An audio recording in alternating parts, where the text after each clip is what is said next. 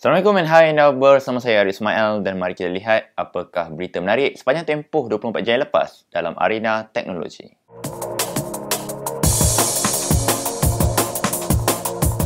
Hari ini Qualcomm telah memperkenalkan spesifikasi rasmi untuk Snapdragon 855. Chip ini disahkan menggunakan chip 8 teras Cryo 485 berkonfigurasi 134 menggunakan teknologi 7nm dilengkapi dengan GPU Adreno 640 dengan sistem Snapdragon Elite Gaming menyokong Vulkan 1.1 dan menjanjikan peningkatan kuasa memproses CPU sehingga 45% serta peningkatan GPU sehingga 20%.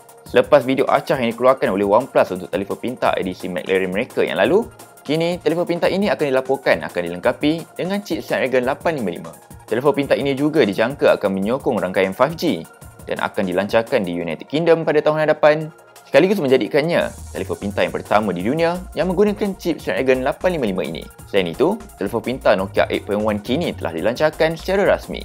Telefon pintar ini membawakan rekaan skrin bersaiz 6.18 inci Full HD Plus bertakuk dijana dengan chip Snapdragon 710 memori 4GB RAM bersama storan dalaman 64GB, bateri berkapasiti 3500 mAh dan dijalankan dengan Android 9.0 Pie dengan sistem Android One yang terkini.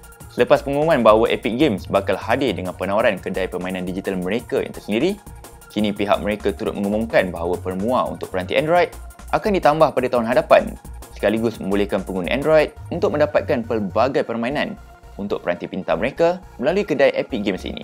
Presiden Xiaomi telah berkongsi sebuah gambar acah yang memperlihatkan penggunaan kamera 48MP pada telefon pintar terbaru mereka yang akan dilancarkan pada Januari kelak. Nama maklumat berkenaan dengan sokongan dual kamera atau sensor yang digunakan pada peranti ini masih belum diketahui. Akhir sekali, perkhidmatan permesajan Allo hari ini dilaporkan akan dihentikan pada Mac 2019 kelak. Hal ini kerana Google ingin memberi penekanan yang lebih untuk aplikasi messages terbaru dan menghentikan pelaburan untuk Elo.